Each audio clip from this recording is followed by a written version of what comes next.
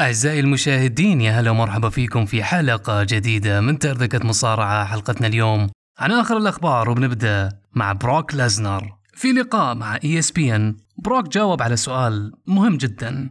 رايه في مباراة ضد جونثر. هل هو مهتم؟ قال بالعكس أنا مهتم وأكثر. بس ما يهم الخصم. كلموه مرة على الموضوع وبالأخير ما صارت. وسبب الرئيسي أنه أحب الفكرة هذه أنه يحب التحدي. والنجم هذا متحدي جديد. شفنا نبذة منه في ال Royal Rumble يوم هم الاثنين كانوا يشوفون بعض والكل تساءل عن مستقبل المباراة. قلنا يمكن نشوفها في راس المانيا قبل ما دخلوا في قصة بوبي لاشلي وبروك وبعدين دخلوا براي وايت في الموضوع.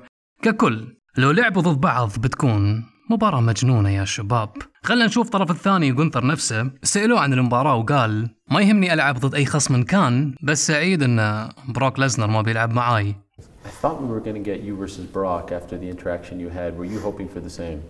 Um, I'm hoping for that match, but to be honest, um, I think it's better that it's not happening now. علينا لا تعطينا tease عاد فاهمين المباراة هذه بتصير في المستقبل والآن بروك مع كودي رودز يعني شو أقول أشوف أنسب مكان للمباراة هذه طبعا راس المانيا نعم تعمل build up لأشهر والإثنين لازم يلعبون على stage يستاهل ما أقول بروك لازنر لازم يفوز بلقب القارات ولكن لو كانت حلوة خلينا نشوف rematch بعد بينهم.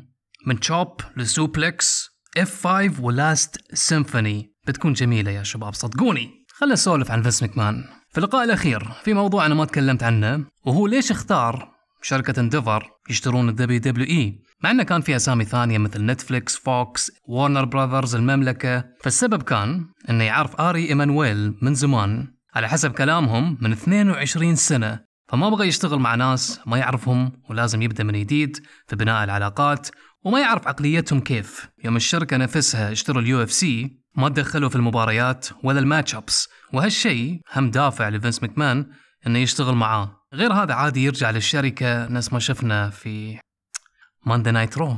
Yep.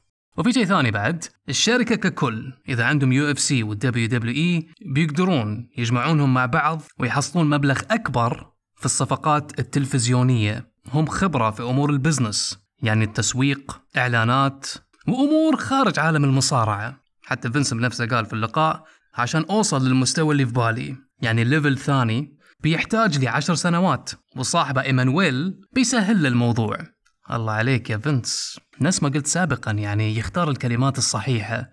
كلمات اللي تجذب الفلوس. ما أدري إذا شفت سوق الأسهم مع الدبليو دبليو إي يقول لك مرتفع فوق بعد الخبر. فالأمور طيبة عندهم فلوس وفوق هذا فينس مكمان يتدخل في القصص والعداوات. خلنا نروح لراسل فوتس كاتب. أنا سمعت لأول مرة من أشهر عرض ماندي نايت رو كان بكتابة وتواجد فينس مكمان. كان أسبوع عظيم للشايب وأنا أتفق معاه. قلت لكم في التحليل بس ما تصدقون كلامي والله يمكن تربل إيتش يبغى يغير القصص. لا لا لا لا لا. قلنا الساعة الأولى بس مباراة أوماس الباقي كلها بروموهات. تخيلوا ال segment سيث رولنز كان غريب جدا إنه بس يطلع الجمهور يغنون أغنيته وما يقول شيء ما تكلم مع مصارع ما عرفنا وجهته القادمة ولا شيء. غيروا ال segment تخيلوا. وقت الإعلان وهو واقف في الحلبة. وهالشيء محزن جدا مع إن الفترة الأخيرة يعني شفنا أشياء تعبانة مع تروبل ايتش بس متحسن من قبل.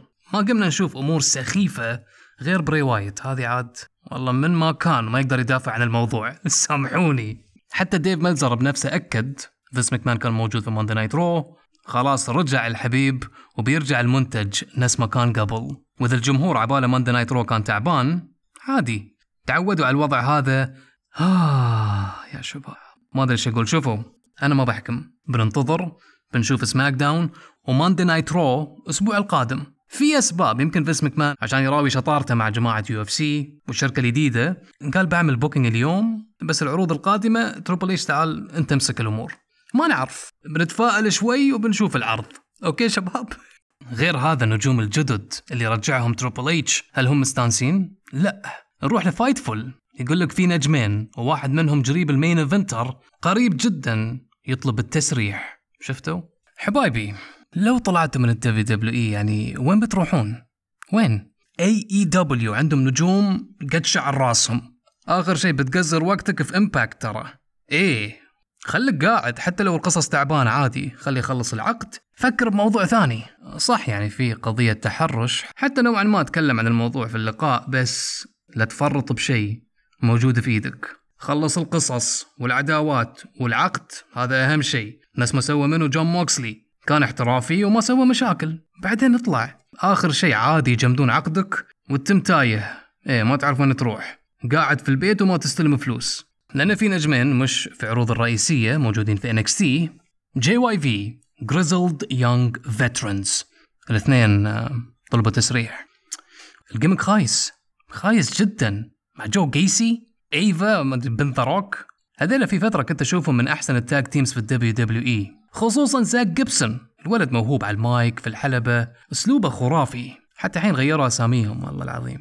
لا بنعطيك push في فريق اسمه Schism وأنت اسمك Jagger Reid والثاني Fowler ما أدري Rip Fowler. فالكل قال تسرحوا بس لا ديف ميلزر أكد الموضوع إنه سأل بعض الشركات في ال indies وقالوا هم كان في بالنا إن تسرحوا الجماعة بس حتى الآن مش أكيد. غير هذا النجوم الموجودين برا عالم الدبليو دبليو إي. اف تي ار عندهم مباراة اليوم ضد عيال جن إذا خسروا بيطلعون برا الشركة. كان في أخبار إنه يمكن كيني أوميجا لو خلص عقده يطلع من الاتحاد. فوق هذا جاي وايت اللي صار لنا أشهر نتكلم عن الحبيب. لا بيطلع من New Japan. بيكون مع ال WWE ونفس الشيء الخبر من PW Insider ما في خطط يوقعون مع جاي وايت الحين فينس مكمان رجع.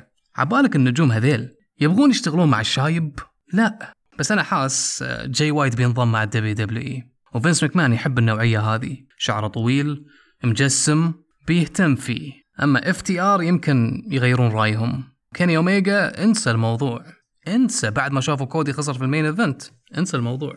هم نجمة في Monday Night Raw بيلي كان في خطة إنها تطلع مع إيو سكاي وداكودا كاي في Monday Night Raw الأخير بس سحبوها من العرض.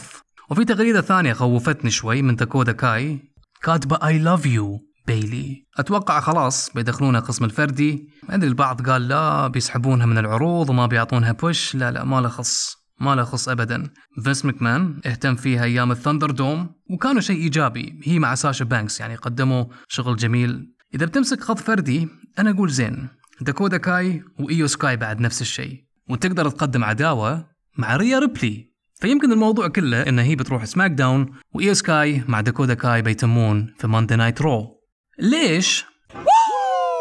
هي تحب ال bodybuilding كمال اجسام وتبغي تنافس في المسابقات. بتسويه في الصيف وتدرون جربنا من الصيف يعني. حتى البطولات هذه لازم يجهزون أعمارهم من فترة. بس المشكلة وين؟ إنه لازم تتمرن بين العروض. يعني بتبتعد فترة وفي دليل يا شباب. أندرادي الحبيب رايح معاها وين؟ إجازة. وهي كاتبة شكرا على مفاجأة عيد ميلادي. طبعا ما أقدر أراويكم الصورة لأن باين ان هي ضعفانة. وتبغي تنافس في المسابقات أوكي؟ انت شوفوها متى؟ بعد الإفطار. موجود في حسابها. وبنشوف إذا فينس مكمان يقدر ينقذ. قسم السيدات. yep.